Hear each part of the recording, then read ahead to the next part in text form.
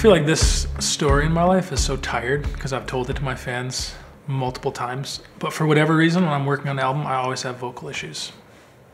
It's a bummer, man, because it's like I'm a singer, and every time I make an album, I seem to go through some intense thing with Love and War. Lost my voice for three months, and had this whole kind of crazy thing happen. It came back, and that's its own story. But with this as well, um, the month leading up to leaving for Charlottesville a year ago, um, I like didn't have a voice.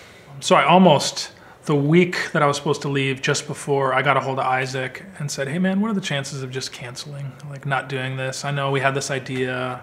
He's like, "Well, you sort of committed to it, and all the musicians have their plane tickets, and I've rented the studio space, so I suggest you come." And I was like, "I'll be there." Yeah. He's like, "You're gonna forfeit all the money if you don't at this point." So I was like, "All right." I told my wife Michelle, "I'm gonna go. I might have to just like whisper songs." have these guys record stuff and then I'll make sense of it when I get home, you know. This feels like a losing endeavor to me, you know. Um, I had this morning, Michelle and the kids took off and I don't always do this. I'm not, I'm like sort of, I don't know if charismatic is the word, but I felt like I was supposed to just walk around the house, like praising the Lord with a voice that I didn't have. So I like was walking around the house. It was a sunny day, you know, in July, like sort of croaking, um, and singing as best I could, and just like praising the Lord. You know, like you're gonna you're gonna have victory. I don't I don't know why I have to go through these times. That the very thing I feel like I'm made to do is so often taken away from me. You know. Um, and something happened, like 45 minutes in. And that's a long time if you're not accustomed. Like i'm i don't do that very often. So 45 minutes of walking around the house like you know what i mean? Just like pushing in something happened. Like my emotions changed. And you've heard people talk about this like the power of praise you know what i mean? But that thing whatever that is happened man. Like something opened you know? And was in this house just walking around. Something happened and i just started like weeping and I sensed his like presence, man. Enter the house. And I like I had my own time with him. I'm not gonna tell you what we talked about. You know what I mean? But I had this time that was meaningful. And then I did this thing. I like I said, Lord, send a man and a woman to pray for me today. And even as I said, I was like, why did I say like a man and a woman? Like it seemed like specific in a way that I didn't even know why I said it, you know? And then my like my wife and kids came home, and I said, I, you know, I had a great time. My wife went down for a nap with our younger ones, and I hear a knock at the door, and it's some friends of ours that I hadn't seen for months and months. A husband and a wife came. They're like, we just happened to be walking in the neighborhood, and we like, we just wanted to walk up and see if you were home. And I like pointed them and said, can you guys pray for me? And they're like, yeah. I said, do you believe in healing? And they're like, oh yeah.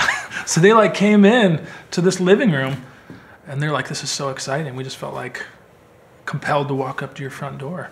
I was like, I need, I need prayer. Like I'm supposed to record an album and I don't have a voice. I don't know what's happening, you know? So he started praying for me and um, he started praying in tongues over me. Well, because he didn't know what to pray. He like had his hands on my arm. And as he was praying, I had this vision of like a black cocoon sort of like a black rib cage almost, but it was my throat.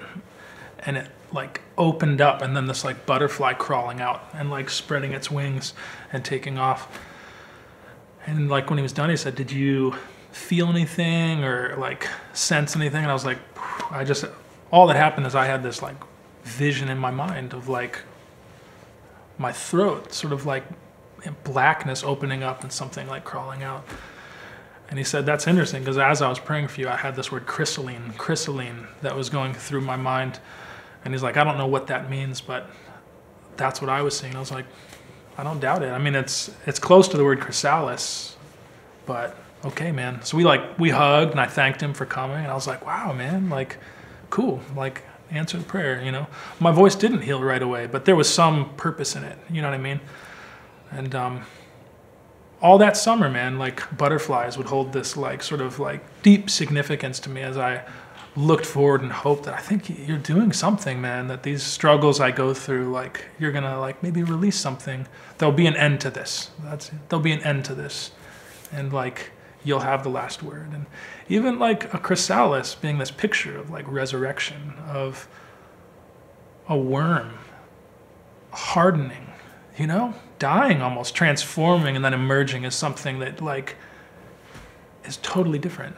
You know, it's a wild thing. If you sit and allow yourself to think about the metamorphosis of a worm to a butterfly is, is sort of staggering, you know. So yeah, man. That happened. that happened. That happened.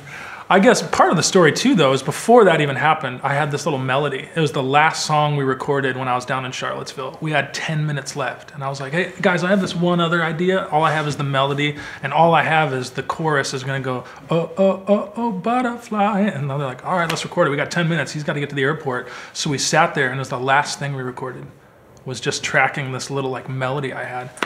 And so that happened as well. So it was like this beginning of a song that had come before this time of prayer, this vision, this word chrysaline, this yeah, this song that only had one word, oh butterfly, you know, and then all of a sudden then I after that this year I've been like attaching words to that song and then completing that song.